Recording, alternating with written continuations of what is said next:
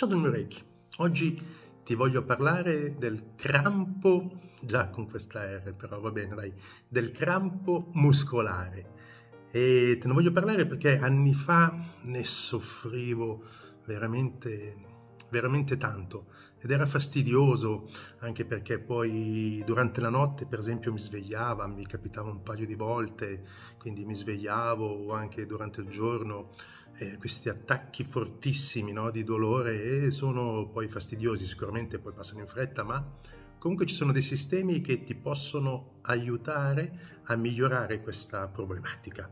Naturalmente sai che il dolore è provocato perché queste fibre muscolari si contraggono a tal punto che per pochi istanti, diciamo così, non passa più il sangue, quella zona non viene più eh, irradiata dal sangue, diciamo, e quindi c'è questo, c'è questo dolore. Ok, le cause possono essere tante, quindi io ti consiglio sempre, se hai un problema, vai dal tuo medico e eh, fatti curare e trova la giusta soluzione. Io ti do dei consigli in più, ok, che possono accompagnare quello che ti dirà il tuo medico. E allora che cosa ho fatto? Beh, ero stufo, preso, avevo degli appunti di shiatsu, appunti di altri corsi che ho, che ho fatto e quindi ho iniziato, prima di tutto, a mangiare meno carni, meno proteine. Ho incominciato a bere molta più acqua, ho incominciato a integrare più magnesio, che mi ha aiutato molto, e ho incominciato a integrare eh, molte più verdure, eh, soprattutto quelle verdi, frutta e verdura. Ok, e questo mi ha aiutato tantissimo. E poi a livello delle Reiki mi sono eh, dato tantissimo il secondo simbolo eh, del secondo livello appunto di Reiki, sia su tutto il corpo ma proprio anche sui polpacci che è la zona dove avevo questi fortissimi, fortissimi campri, crampi.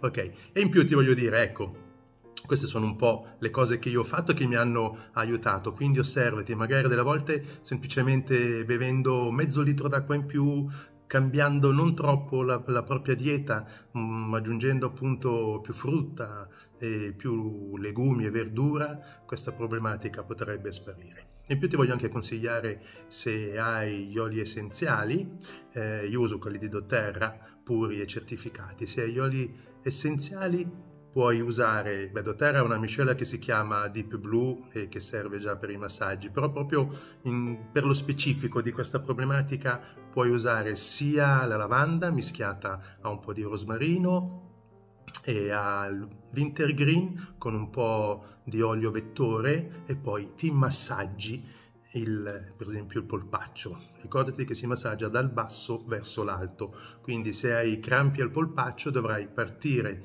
dal tuo tallone e salire proprio così, no?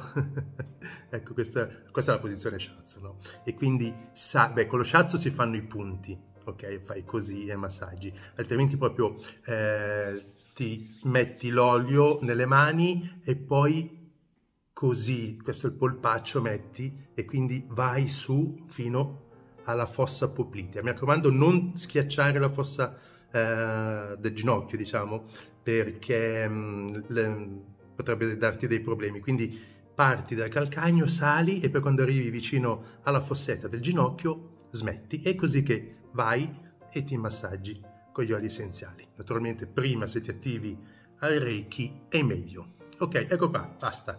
Un video di SOS pronto soccorso? ok, se soffri anche tu, prova e mm, di questa problematica dei, dei crampi, prova e poi lasciami i tuoi commenti sotto questo video, sarò più che onorato di risponderti. È tutto, una buona giornata, una buona vita e alla prossima.